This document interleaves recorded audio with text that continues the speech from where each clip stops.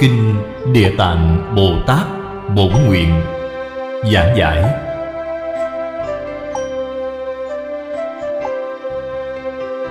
Chủ giảng, Lão Pháp Sư Tịnh Không. Giảng tại Tịnh Tông Học hội Singapore. Thời gian, tháng 5 năm 1998 Tập 8 Đoạn này dưới đây. Phóng như thị đẳng, bất khả thuyết, Quang minh vân dĩ. Câu này là tổng kết.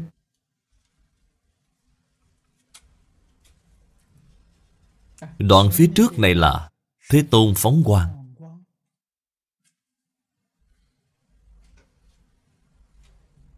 Hiển bày ra Lý thể mà mình chứng. Cũng chính là hiển bày ra. Tánh đức viên mãn. Phật có, Chúng sanh cũng có.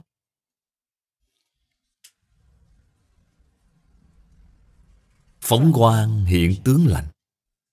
Nói thật ra, Chỉ có Pháp thân đại sĩ Mới biết rõ. Sau khi vừa nhìn thấy, Pháp luân viên mãn mà Thế Tôn và chư Phật Như Lai, Mười phương ba đời, Đã nói ra, Trong khoảng sát na là tiếp nhận viên mãn. Pháp thân đại sĩ mới làm được. Chúng sanh trong thập Pháp giới nhìn thấy, Rất hiếm có. Nhìn thấy vui vẻ, tán thán, Nhưng không hiểu gì. Rốt cuộc là ý gì? Không hiểu được. Thế thì phải làm sao? Ngài nói không nói Làm sao chúng ta có thể biết được chứ? Hữu thuyết chủng chủng Vi diệu chi âm. Từ đó cho thấy, Phóng quang hiện tướng lành Là để độ người căn tánh thượng thượng. Phát ra âm thanh vi diệu Là để độ người căn tánh trung hạ. Người căn tánh trung hạ. Nhìn thấy hào quang. Họ không thể hiểu được hàm ý ở trong đó. Nhất định phải cầu mong Phật đến Mà thuyết Pháp. Ở chỗ này nói, Phát ra đủ thứ âm thanh vi diệu. Cái gì phải nhớ kỹ là nói đối với chúng sanh thế giới ta bà. Thế giới này, Bồ Tát Văn Thù nói rất hay. Thử phương chân giáo thể Thanh tịnh tại âm văn. Ở trên hội Lăng Nghiêm. Thế Tôn Để cho Bồ Tát Văn Thù Lựa chọn ra Viên thông cho chúng ta.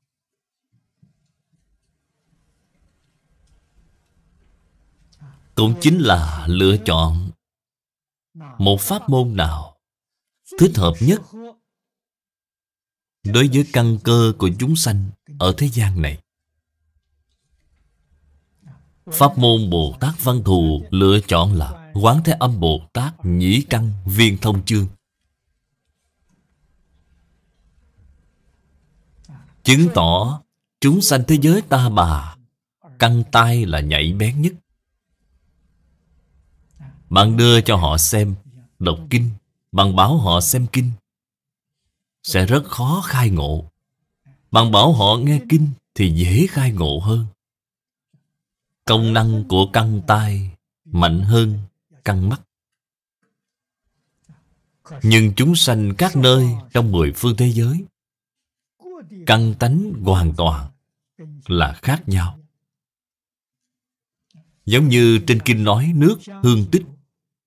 Người trong nước hương tích Căn tai thì không được rồi. Bạn để cho họ xem, Họ không thể khai ngộ, Nghe họ cũng không hiểu được. Mời họ ăn cơm. Vừa ăn cơm liền khai ngộ ngay. Cái này quá tuyệt diệu rồi. Cho nên họ dùng cơm thơm tho Để làm Phật sự. Vì sao vậy? căng lưỡi nhạy bén. Cho nên tất cả chúng sanh căng nào nhạy bén Thì không nhất định. Nếu như Thế Tôn Muốn giảng kinh địa tạng Ở nước hương tích, Thì đoạn phía sau này Nhất định là lại phát ra Đủ thứ cơm thơm tho vi diệu. Có đúng không vậy? Do tình hình ở đó như vậy mà Chứ không thể phát ra đủ thứ âm thanh vi diệu được. Âm thanh chỉ duyên để nói cho thế gian chúng ta. Cho nên chỗ này phải hiểu Phật thuyết Pháp nhất định là khế lý, khế cơ. Phía trước phóng ra dần mây quang minh là khế lý. Còn chỗ này là nói khế cơ.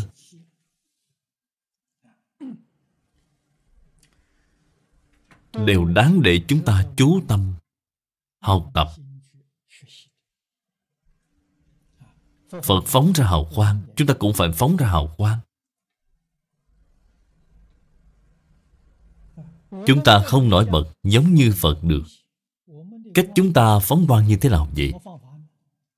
Tâm địa bạn phải chân thật từ bi, Thì tự nhiên sẽ có tướng hào quang từ bi hiện ra. Người ta chỉ nhìn thấy liền biết người này rất từ bi.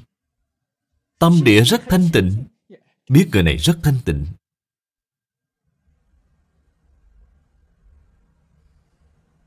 Đây là phóng quang. Những gì trên kinh nói Trong tâm bạn Thật sự có. Thì tự nhiên, Từ trên vẻ mặt và trên thân bạn sẽ phóng quang. Không những phóng quang Mà còn phát ra mùi thơm. Mùi thơm và hậu quang trang nghiêm. Mùi trên người của hầu hết phàm phu chúng ta Thì rất khó ngửi. Người tu hành tâm địa họ thanh tịnh, Quang minh, Nên mùi trên người họ là rất thơm. Chúng ta rất ít thấy. Trước đây, tôi ở Hồng Kông Nghe các đồng tu kể là Nghe nói Lão Hòa Thượng Hư Vân Một năm tắm có một lần, Cắt tóc một lần. Lão Hòa Thượng Hư Vân Một năm cắt tóc một lần, Tắm rửa một lần. Y phục mùa đông hay mùa hạ Cũng chỉ mặc có một bộ, Nên vết dầu mồ hôi Đóng trên cổ áo rất dày. Nhưng ngửi thử thì thấy thơm, Mùi không hôi. Đây là chuyện mà các đồng tu ở Hồng Kông kể cho tôi nghe. Đó là mùi hương gì vậy? Chúng ta bình thường nói, Ngũ phần giới hương.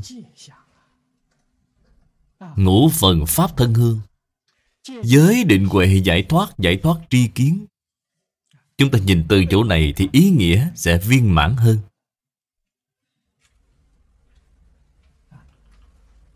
Chân thành thanh tịnh từ bi. Có thể thấy khi tánh đức bộc lộ, Thì không nơi nào không có. Không những thân phóng quang Tỏ mùi thơm, Mà ngay cả môi trường họ cư trú Cũng tỏa mùi thơm. Người bình thường, Chúng ta hiện nay nói từ trường khác nhau. Môi trường họ ở sau khi chúng ta bước vào, Sẽ cảm thấy vô cùng dễ chịu.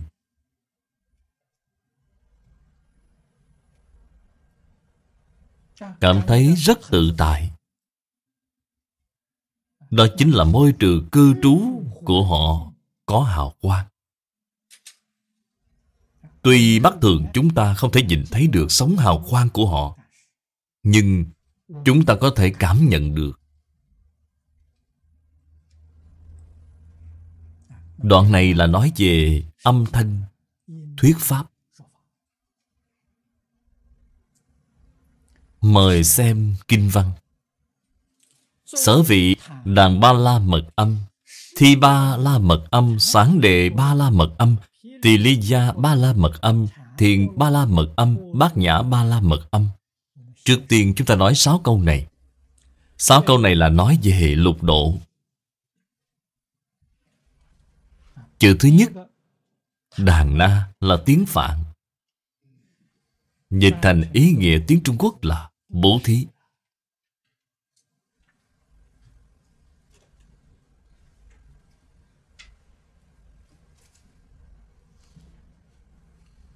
Chư Phật Bồ Tát. Nói thật ra là Chính là Pháp thân. Thế nào gọi là Pháp thân gì? Họ khẳng định tận hư không khắp Pháp giới Là chính mình.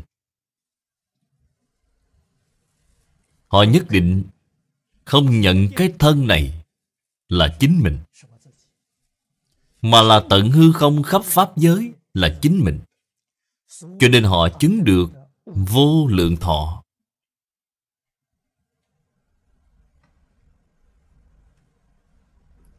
Hư không pháp giới bất diệt. Thân này của chúng ta có sanh diệt. Thân có sanh diệt giống như cái gì vậy? Giống như tế bào trong thân thể chúng ta. Tế bào có thai cũ đổi mới, Có sanh diệt. Nhưng cái thân này trụ mấy mươi năm. Thời gian của tế bào rất ngắn ngủi. Hiện nay y học nói cho chúng ta biết, Thân thể con người mấy năm là một chu kỳ. Thì toàn bộ tế bào sẽ thay cũ đổi mới một lần. Cho nên tế bào cũ của 7 năm trước không còn nữa. Cái tế bào này hiện nay là mới sinh. Vĩnh viễn thay cũ, đổi mới. 7 năm là một chu kỳ.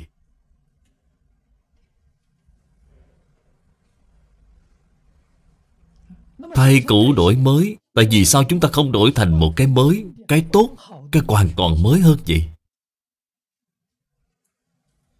Giống như máy móc vậy. Linh kiện máy móc hỏng rồi.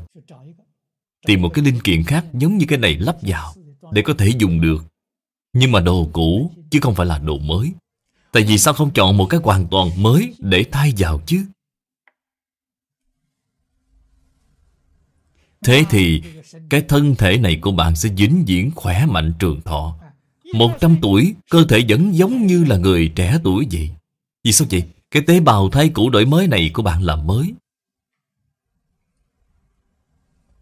Thanh tịnh không có ô nhiễm.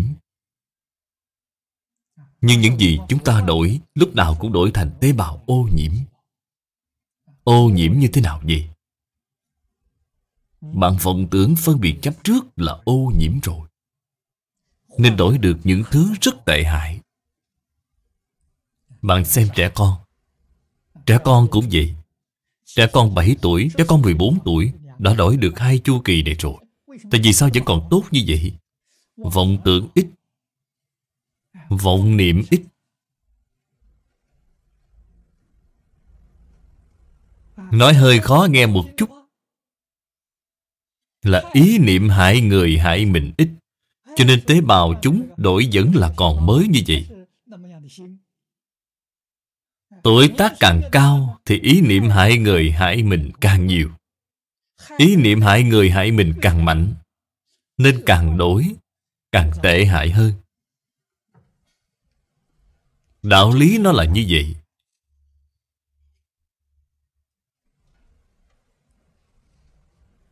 Chúng ta thử xem thế giới của Phật. Thế giới Tây Phương cực lạc cũng vậy. Thế giới Hoa Tạng cũng vậy. Tại vì sao thể chất của họ vĩnh viễn không bị thay đổi? Dường như là dừng lại ở chỗ đó. Trên thực tế có phải là dừng lại không? Không phải vậy. Vẫn là vĩnh viễn không dừng trụ. Là trong quá trình thay cũ đổi mới của họ, Hoàn toàn không có vọng tưởng phân biệt chấp trước. Nghĩa là linh kiện mà họ thay là hoàn toàn mới. Dính diễn là mới. Trong cái máy này thay 10 lần, thay 20 lần vẫn là đồ mới.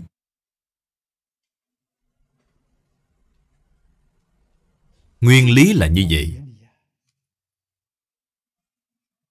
Chúng ta ngày nay bị thiệt thòi ở chỗ nào vậy? Tự mình hại mình cho nên cái tính tự tư tự lợi đó Không phải lợi mình, Mà tự tư là tự hại. Do dùng sai danh từ rồi, Làm gì tự lợi được chứ? Là tự hại. Lợi người mới là lợi mình. Ai biết lợi người gì? Phật Bồ Tát biết lợi người. Người giác ngộ biết lợi người. Người mê hoặc điên đảo chỉ biết lợi cho mình. Lợi mình là tự hại, chứ không phải tự lợi. Không thể nói lợi được rồi.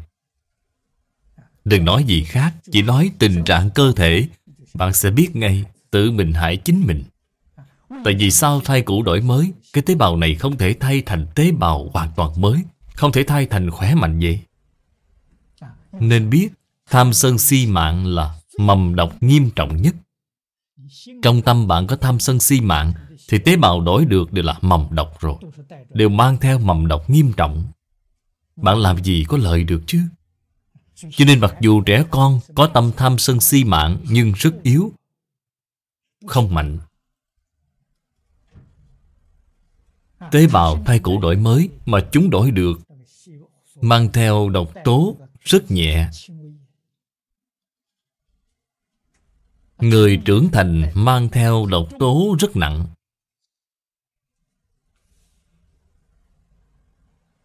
Nếu chúng ta không thâm nhập kinh tạng, Không hiểu một chút đạo lý đại thừa, Thì chúng ta làm sao có thể biết được chân tướng sự thật này? Nhà khoa học nghiên cứu đến ngày nay cũng chưa phát hiện được. Cũng chưa có hiểu rõ ràng. Cho nên vừa mở đầu, Đã đem sáu ba la mật đặt ở phía trước. Tất cả chư Phật Bồ Tát gì Tất cả chúng sanh Giảng kinh thuyết pháp, Dạy chúng sanh tu hành chứng quả, Không ra ngoài sáu cương lĩnh này.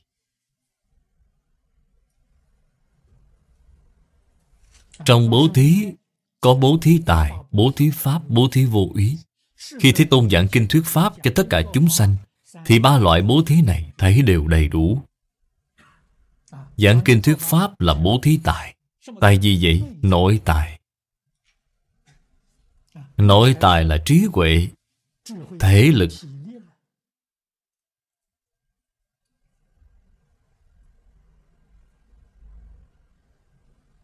Đây là bố thí nội tài.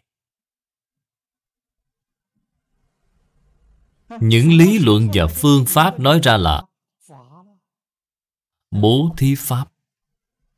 Chúng sanh nhận được pháp này, Hiểu được pháp này, Có thể xa lìa được hết thảy ưu bi khổ não. Biết đường mà thoát khỏi luân hồi. Đây là bố thí vô ý. Ba loại bố thí mà chư Phật Bồ Tát làm. Bản thân Ngài Trì giới. Trì giới chính là làm đúng như Pháp. Ngài sống có quy củ. Ngài thuyết Pháp rất mạch lạc, Có trật tự. Không có gì mà không đúng như Pháp. Như Pháp chính là trì giới. Nhẫn nhục là có tâm nhẫn nại.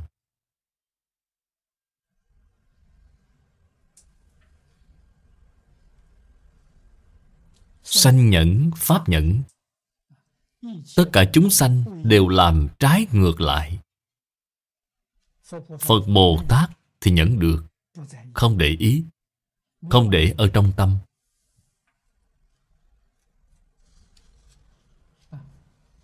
Ngày nay chúng ta nói những tai nạn tự nhiên này cũng có thể nhẫn được. Tu học Phật Pháp cần phải thời gian rất dài. Hoa nghiêm cuối cùng thị hiện cho chúng ta xem 53 lần tham vấn của thiền tài đồng tử Tham học cũng rất vất vả Không có gì là không nhẫn được hay nói cách khác, Ngài có tâm nhẫn nại rất lớn, nên Ngài có thành tựu lớn. Thành tựu lớn hay nhỏ, quả thật là hoàn toàn tỷ lệ thuận với tâm nhẫn nại. Bạn có tâm nhẫn nại lớn cỡ nào, thì bạn có thành tựu lớn cỡ đó. Bạn không có tâm nhẫn nại, thì thành tựu của bạn không thể tiến triển thêm lên được.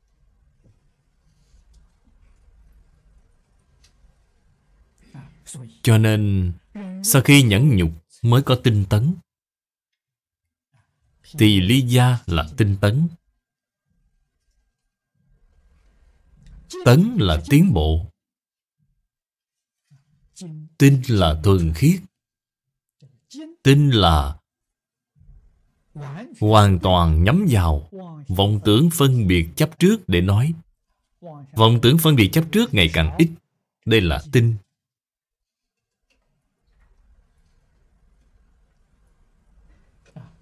Trí huệ đức năng Càng ngày càng nhiều, Vậy là tiến bộ.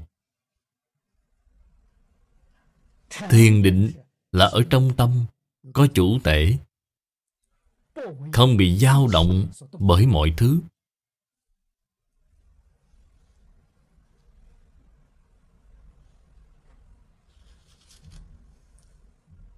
Đồng tu Học Phật hiện nay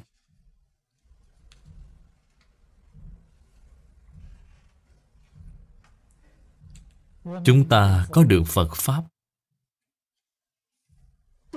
Quả thật là không phải dễ.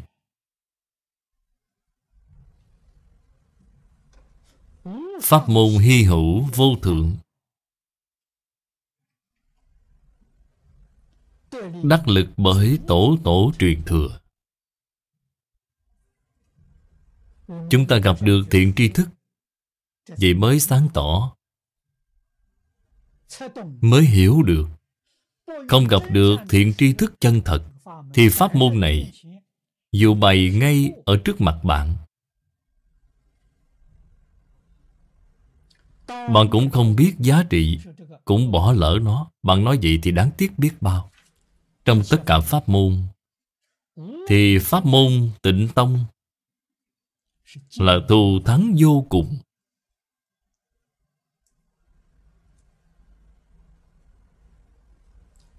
Có được mấy người biết chứ? Được mấy người Sáng tỏ thấu triệt. Chỉ có thật sự sáng tỏ rồi, Thì mới có thể sanh khởi niềm tin được.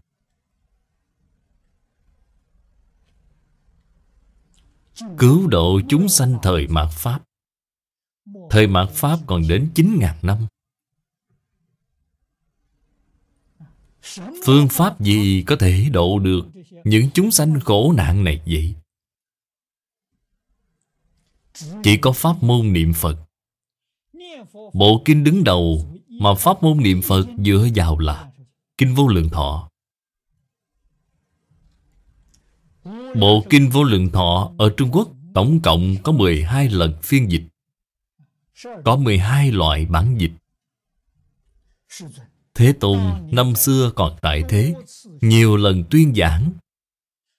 Cho nên bản nguyên văn cũng đã Có rất nhiều loại Rất khác nhau rồi. Nếu chúng ta đem nhiều bản đó hợp chung lại để xem, Thì mới có thể nhận thức được rõ ràng mới có thể có tính nguyện kiên cố về thế giới Tây Phương cực lạc được. Rất quan trọng. Nhưng mà những bản dịch gốc này hợp chung lại để xem.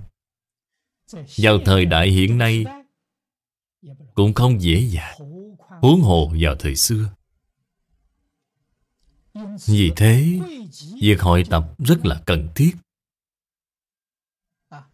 Lần đầu tiên hội tập là cư sĩ Vương Long Thư là người tại gia. Bản hội tập của ông Được đưa vào Đại Tạng Kinh. Cái gì nên biết? Trước tác tác phẩm, Nếu được đưa vào tạng, Tức là được tứ chúng đệ tử, Cửa Phật, Khẳng định là chắc chắn không có sai lầm. Chỉ mới có thể đưa vào tạng. Chứ không phải trước tác, tùy tiện nào cũng có thể đưa vào được. Là được, Cao Tăng Đại Đức, Đương thời giới thiệu.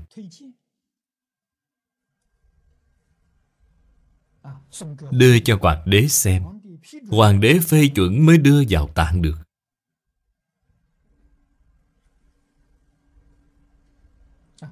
Chứng minh tác phẩm này của họ là không sai. Đại sư Liên Trì, Tổ sư của tịnh Độ Tông.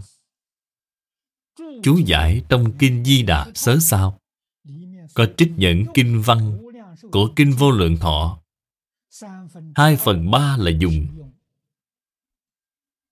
Đại A-di-đà Kinh của cư sĩ Long Thư. Chính là bản hội tập Kinh Vô Lượng Thọ. Như vậy chứng minh Đại sư Liên Trì thừa nhận khẳng định. Nhưng quả thật là Bản thân Bồ Tát Long Thư Là niệm Phật Đứng mà giảng sanh. Nếu như Ngài hội tập là không đúng, Là có tội lỗi, Thì Ngài làm sao có thể đứng mà giảng sanh được chứ? Chứng minh công đức của Ngài là vô lượng vô biên. Nhưng bản hội tập của cư sĩ Long Thư Ngài chỉ xem bốn loại bản. Hội vô lượng thọ trong Kinh Đại Bảo Tích đời đường Bồ Tát Long Thư chưa từng xem qua. Cho nên bản hội tập của Ngài không viên mãn. Những đời sau có người chú ý đến vấn đề này. Bành Tế Thanh, Đầu triều nhà Thanh đã làm một bản thiết hiệu. Ông không phải hội tập Khoảng năm Hàm Phong, Cư sĩ Ngụy Nguyên Đã làm một bản hội tập. Lấy bỏ Đều thiếu thỏa đáng. Nên Đại sứ Ấn Quang có phê bình về bản này. Cho nên như vậy mới đến đầu năm dân quốc, Cư sĩ Hạ Liên Cư đã làm một bản hội tập viên mãn nhất.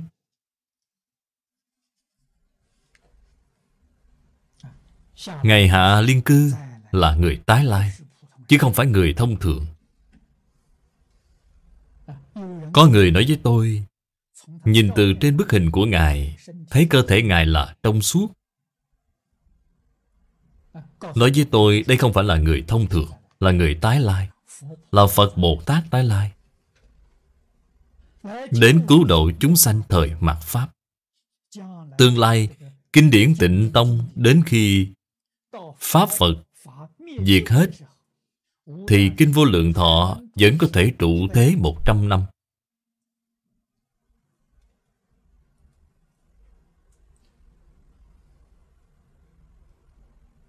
Những Đại Đức đương thời Như Lão Pháp Sư Huệ Minh, Lão Pháp Sư Từ Châu của Luật Tông, Cơ sĩ Mai Quang Hy đều khẳng định Tương lai bản cuối cùng Vẫn lưu truyền một trăm năm Chính là bản hội tập này. Bản hội tập này là tập đại thành Của bản dịch gốc Kinh Vô Lượng Thọ. Nếu các vị không tin Thì có thể đem năm loại bản dịch gốc ra Để đối chiếu thử xem. Không nên phỉ bán nữa. Không nên kỳ thị nữa. Mà tạo tác vô lượng vô biên tội nghiệp. Nếu bạn nói hạ liên cư là cư sĩ Cư sĩ thì không có năng lực hội tập. Thế thì bạn xuất gia, Bạn thử hội tập xem. Vương Lâm Thư là cư sĩ, Ngụy Mặc Thâm cũng là cư sĩ. Công tác hội tập Từ triều tống đến dân quốc Toàn là do cư sĩ tại gia làm. Đại sư Liên Trì là tổ sư xuất gia, Đã khẳng định và thừa nhận nó.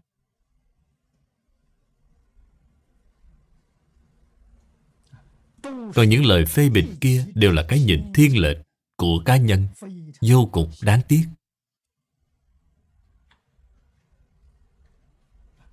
Chúng tôi hiện nay ở singapore, đem bản hội tập kinh vô lượng thọ của ngài hạ lão phát tâm giảng lại tỉ mỉ thêm một lần thời lượng giảng lần này phải nhiều hơn rất nhiều lần so với những gì đã giảng trước kia. Xử lý nhân quả của tịnh tông Nếu chúng ta không thể hiểu rõ, thấu triệt Trong tâm không có chủ tể Niệm Phật, niệm được mấy năm Gặp một người nào đó đến nói Những lời đường mật như thế này. Tôi nghe nói, Không cần phải niệm Phật nhiều như vậy, Cũng không cần phải trì giới, Cũng không cần phải ăn chay, Chỉ cần phát nguyện giảng sanh là được rồi. Là đề xướng điều gì? Bốn nguyện niệm Phật, Họ hại chết người ta rồi. Họ chỉ nương theo nguyện thứ 18 trong 48 nguyện của Kinh Vô Lượng Thọ, Lúc sắp mạng chung một niệm đến 10 niệm đều có thể giảng sanh. Thường ngày việc xấu gì cũng có thể làm, Cũng không sao. Đến lúc sắp mạng chung 10 niệm Thì ai di là Phật liền đến tiếp dẫn, Liền giảng sanh. Lời này nói không sai, Nhưng lúc sắp mạng chung đầu óc bạn có tỉnh táo hay không? Nếu lúc sắp mạng chung bạn bất tỉnh nhân sự, Mê mang mơ màng, Thì dù cao tăng đại đức đến trợ niệm, Bạn cũng không thể giảng sanh. Người hiện nay không có sức định. Thích nghe lừa gạt Chứ không thích nghe khuyên. Nhận đồ giả chứ không nhận đồ thật. Trong Kinh Hoa Nghiêm nói rất hay, Thời đại hiện nay của chúng ta là Tà sư thuyết Pháp nhiều như các sông Hằng. Bạn đừng xem người đến từ bên ngoài, Cho rằng hòa thượng bên ngoài đến biết đọc kinh. Nên xem thường người bản xứ, Mê tín theo người bên ngoài. Thì bạn đã sai rồi. Quá đổi sai lầm. Hy vọng đồng tu niệm Phật Nên quay đầu lại Dân theo lời giáo huấn của Lão Pháp Sư Ấn Quang Đôn luân tận phận, nhàn tà tồn thành. Tin sâu nhân quả, Thật thà niệm Phật. Thì chúng ta đời này mới có thể được độ cho nên thiền định Chính là trong tâm có chủ tể Không nghe theo lời nhảm nhí. Trì giới niệm Phật nhất định là chính xác. Không ăn thịt chúng sanh là tâm từ bi. Bạn xem Pháp đại biểu phía trước. Là 10 loại dần mây sáng. Tiếp theo sau là đại viên mãn, Chính là đại từ bi. Phật Pháp là lấy từ bi làm gốc. Bạn làm sao có thể từ bỏ căn gốc được chứ? Quên mất căn gốc rồi, Thì làm sao có thể giảng sanh được chứ?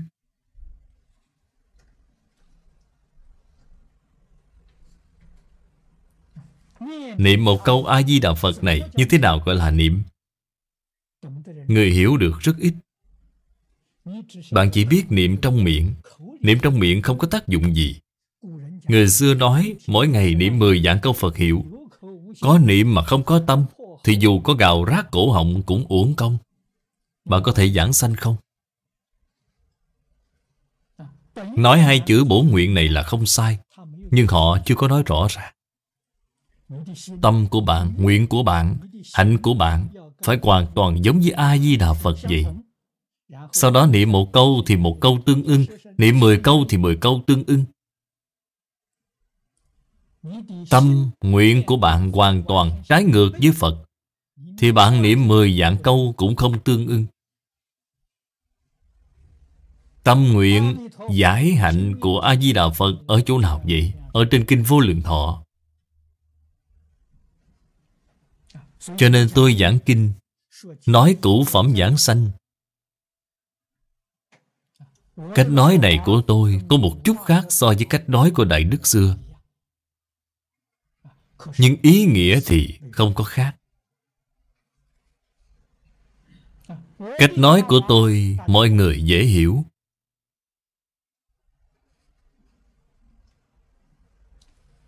Pháp môn tịnh độ Cũng không có đi ngược lại giáo lý. Tính giải hành chứng. Những pháp môn khác, Thì trước tiên Phải giải, Sau đó mới hành. Sự thuận tiện của pháp môn tịnh độ Chính là bạn có thể hành trước, Vừa hành vừa giải. Chứ không phải bảo bạn chỉ hành mà không giải. Không phải vậy. Bảo bạn vừa hành vừa mong cầu giải. Chỉ có hành không giải cũng được. Chúng ta nhìn thấy rất nhiều lão bà không hiểu kinh giáo. Cũng chưa từng nghe kinh. Một câu A-di-đà Phật niệm đến cùng. Lúc giảng sanh có thể đang đứng mà đi, Đang ngồi mà đi. Chúng tôi đã từng thấy qua. Những người đó là gì? Những người đó là người thật thà. Sao gọi là thật thà vậy? Bạn nói với họ bất kỳ điều gì họ cũng không nghe. Họ chỉ niệm một câu A-di-đà Phật Đắc định rồi. Những người này gọi là người thật thà. Người thật thà quá ít Quá ít rồi. Trong một giả người Có có được một hai người thật thà. Suốt một ngày trong tâm cứ vọng tưởng phân biệt chấp trước Là không thật thà rồi. Người không thật thà nhất định phải mong cầu giải Lý luận hiểu rõ rồi, Phương pháp sáng tỏ rồi, Thì niệm một câu Phật hiệu mới tương ưng.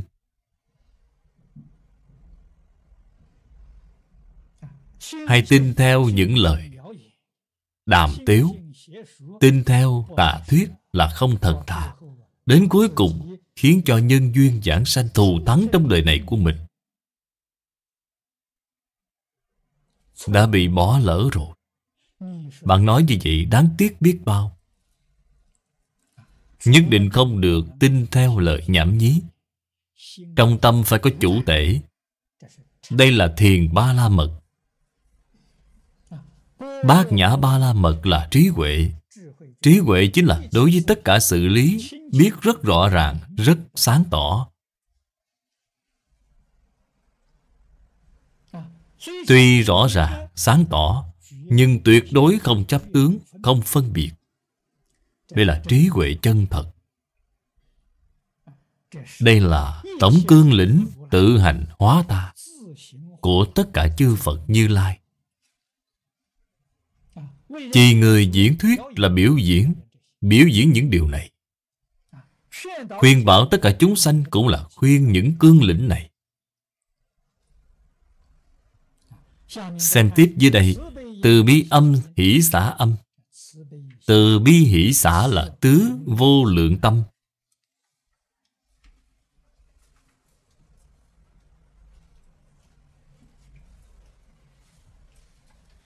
Là khoa mục chủ yếu. Mà thiên nhân cõi tứ thiệt sắc giới tu. Tham thiền, nếu không có từ bi hỷ xã thì không thể sanh về trời tứ thiền. Công phu thiền tốt đi nữa, cũng chỉ giảng sanh về trời dục giới. Sanh về trời dục giới, không thể sanh về tứ thiện. Cho nên từ bi hỷ xã nhất định phải tu. Tu như thế nào vậy? Chúng ta hiện nay không có. Nhất định phải học tập. Từ là ban vui. Giúp cho người khác được vui. Bi là nhìn thấy người ta bị khổ, Thì giúp họ lìa khổ đây gọi là bi. Giúp đỡ người khác được vui. Như vậy gọi là bi. Hỷ là tâm quan hỷ. Nhìn thấy người khác lìa khổ được vui. Trong tâm sanh vui thích. Chính là tùy hỷ, công đức. Thế gian thông thường, Người mê hoặc điên đảo, Nhìn thấy người khác gặp chuyện vui Thì sanh tâm đố kỵ như vậy thì sai rồi. Đố kỵ là bị tổn hại lớn. Hại chính mình rồi. Cho nên hỷ là đem tâm đố kỵ chuyển trở lại. Không có tâm đố kỵ, Chỉ có tâm tùy hỷ. Xả là tất cả có thể buông xả được. Tất cả đều không chấp trước. Giải thoát âm Là giúp tất cả chúng sanh Đoạn phiền não ra khỏi tam giới.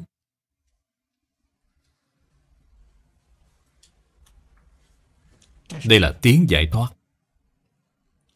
Vô lậu âm Chính là âm thanh tịnh. Lậu là danh từ đại biểu cho phiền não. Vô lậu chính là phiền não đoạn hết rồi. Phiền não không sanh.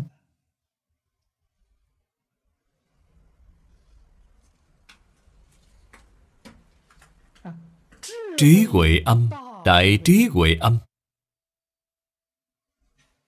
Đây chính là hai trí quyền thật.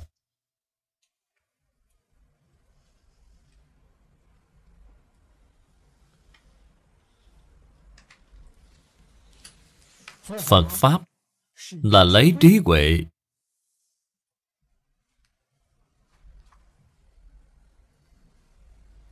Làm mục tiêu chung cho dạy học. Trong tam học, nhờ giới được định, nhờ định khai huệ.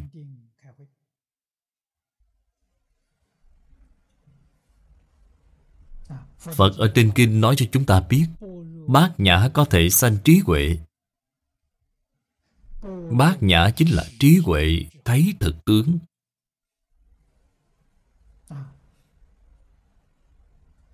Mà trí huệ chính là hai trí quyền thật.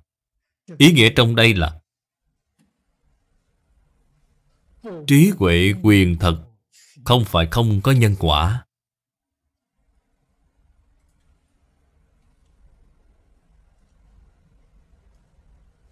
Chư phật bồ tát dùng hai loại trí huệ này giúp đỡ tất cả chúng sanh.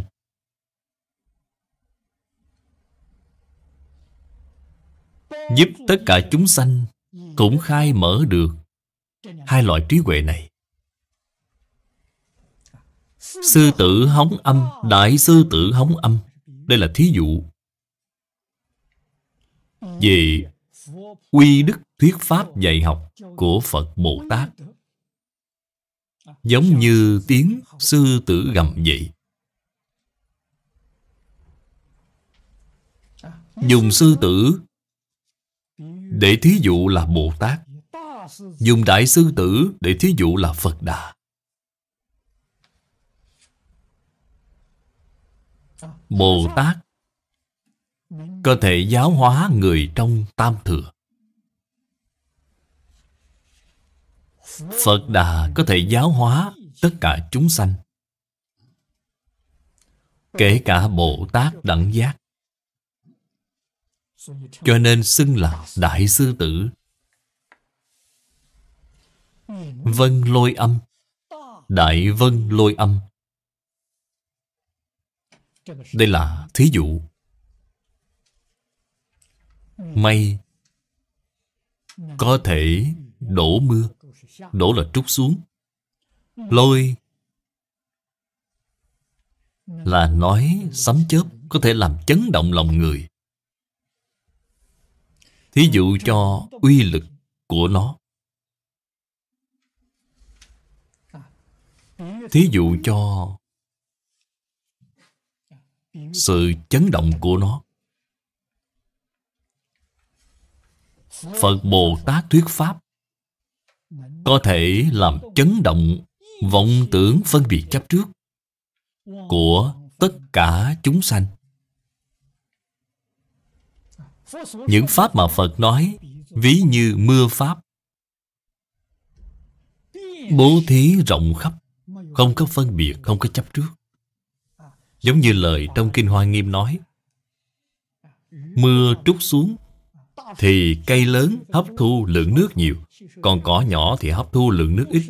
Không phải mưa có phân biệt cho bạn nhiều một chút, Cho người kia ít một chút, Không phải vậy, Mà là do căn tánh của bản thân bạn khác nhau.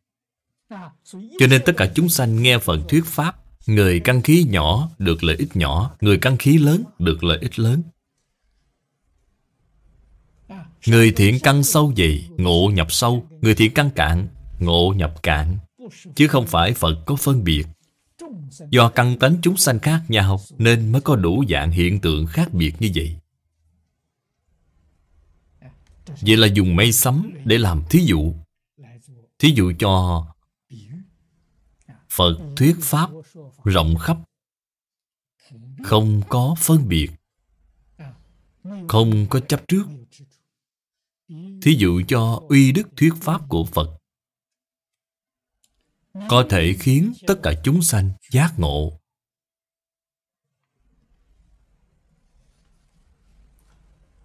Xem tiếp kinh văn dưới đây.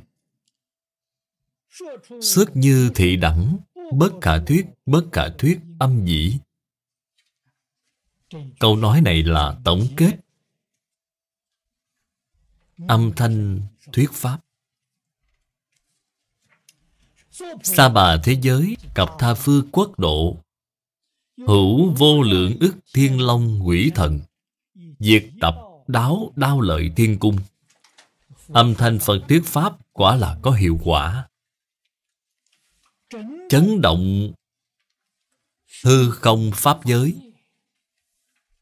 Không chỉ là thế giới ta bà của chúng ta.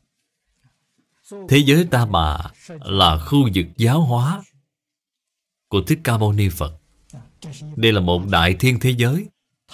Tha phương quốc độ chính là tất cả cõi nước chư Phật. Ngoài thế giới ta bà, hết thảy đều bị chấn động. Trong mười phương thế giới đó, những chúng sanh có duyên này Có duyên với ai vậy? Có duyên với Thích Ca Mâu Ni Phật. Có duyên với Bồ Tát Địa Tạng. Bởi vì Pháp hội lần này Muốn tuyên dương Các công đức không thể nghĩ bàn Của Bồ Tát Địa Tạng, Tu nhân chứng quả, độ hóa chúng sanh. Cho nên đặc biệt là Người có duyên với Bồ Tát Địa Tạng Trời rồng quỷ thần.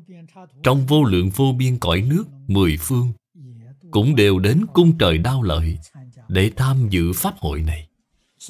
Trong Pháp hội lần này, Có Phật, Có Bồ Tát, Thanh văn, duyên giác. Trong kinh văn dưới đây nói cho chúng ta biết, Thiên Long, Thần chúng, Quỷ Dương Thảy đều đến cả rồi. Pháp hội này thật sự là thù thắng vô song. Chúng ta xem kinh văn phía dưới này. Sở vị tứ thiên vương thiên, Đao lợi thiên, Tu diệm ma thiên Đâu xuất thiên, Hóa lạc thiên, Tha hóa tự tại thiên. Đoạn này là nói cõi trời dục giới. Dục giới có sáu tầng trời.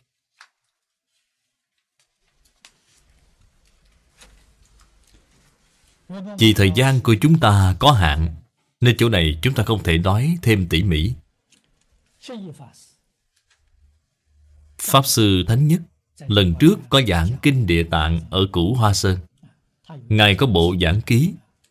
Giảng ký của Ngài đơn giản rõ ràng đều có giới thiệu sơ lược.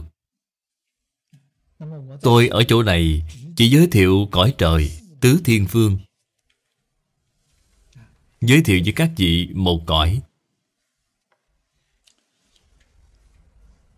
Tứ đại thiên vương,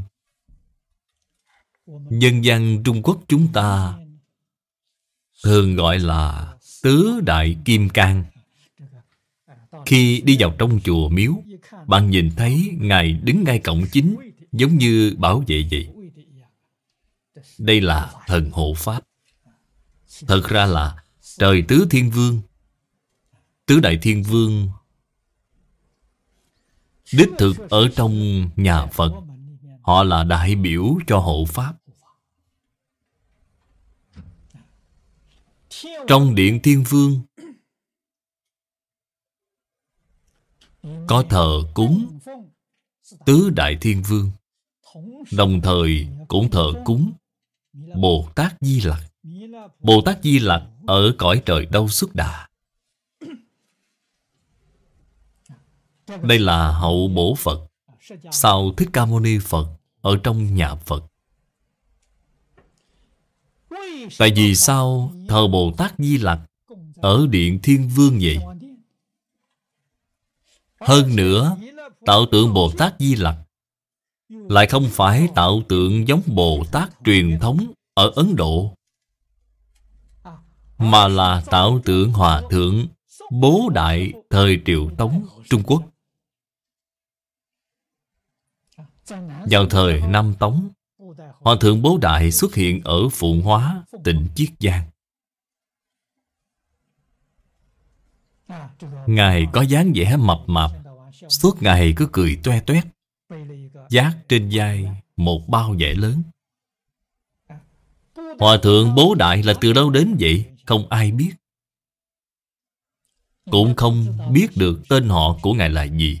Bởi vì Ngài suốt ngày giác bao vải lớn, Nên cái bao vải lớn đó biến thành đặc điểm của Ngài. Cho nên người ta nhìn thấy Ngài, liền gọi Ngài là Hòa Thượng Bố Đại. Vì vậy, Hòa Thượng Bố Đại là có tên từ đó.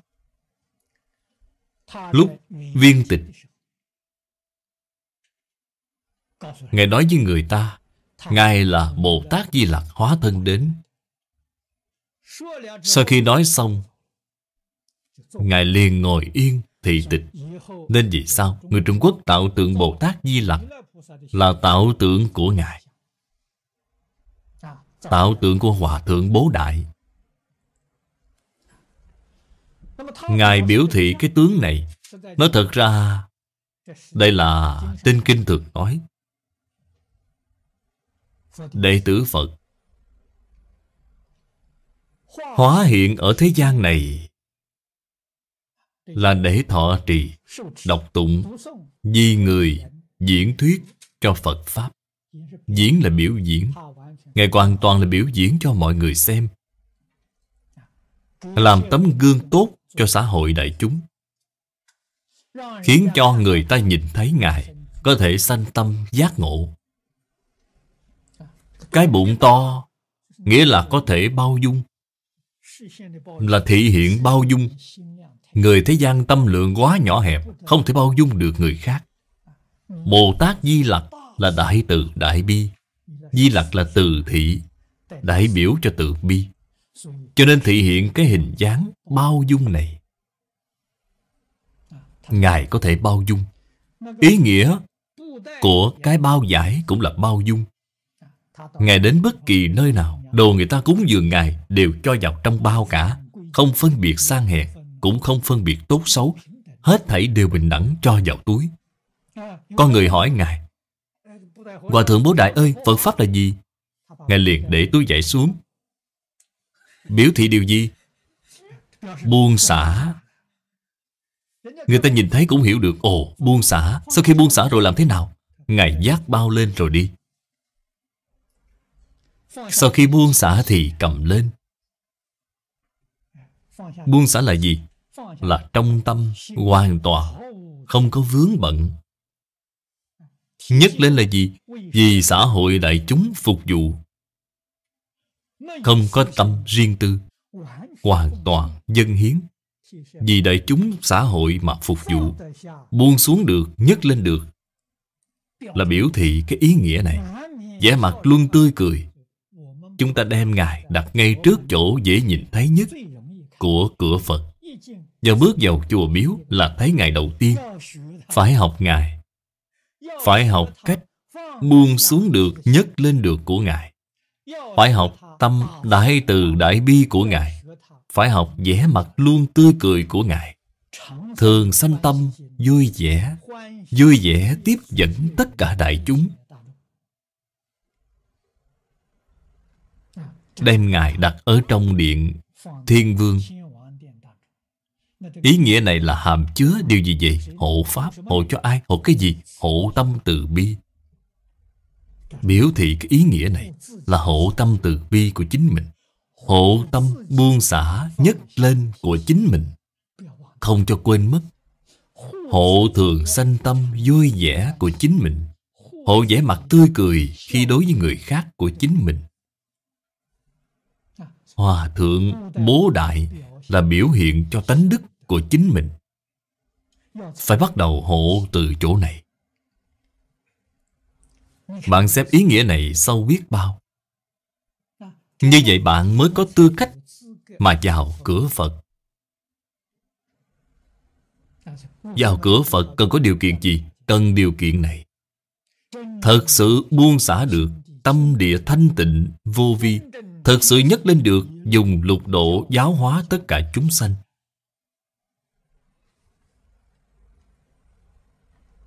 Nhất lên là biểu thị cho ý nghĩa này. Tứ Thiên Vương Thiên Vương Phương Đông Trị Quốc, Đại biểu cho làm tròn trách nhiệm. Thiên Vương Tăng trưởng Phương Nam, Đại biểu cho nỗ lực mong cầu tiến bộ, Mỗi ngày cầu tiến bộ. Tuyệt đối không lạc hậu. Thiên Vương Quảng Mục Phương Tây, Thiên Vương Đa Văn Phương Bắc Là đại biểu cho cái gì? Cho học rộng nghe nhiều. Người Trung Quốc chúng ta nói Đọc dạng cuốn sách đi dạng dặm đường Thành tựu học vấn chân thật Đức năng chân thật của chính mình. Sau đó bạn mới có thể Vì xã hội, vì quốc gia Vì tất cả chúng sanh mà phục vụ. Bạn không có trí huệ, không có đức năng Bạn lấy cái gì để phục vụ chứ? Là biểu thị cái ý nghĩa này. Ý nghĩa vô cùng, vô cùng viên mãn. Ý nghĩa biểu trưng của tứ đại thiên vương. Trời tứ vương, Phật ở trên kinh nói cho chúng ta biết, Tuổi thọ của thiên nhân là 500 tuổi.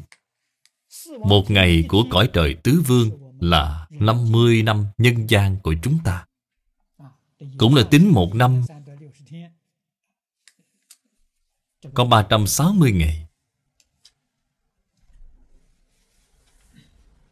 50 năm nhân gian là một ngày của họ. Bạn xem tuổi thọ của họ là rất dài. Càng lên cao nữa thì tăng thêm gấp bội. Cho nên phước cõi trời rất lớn. Tốt rồi, hôm nay chúng ta chỉ giảng đến chỗ này. A-di-đà Phật.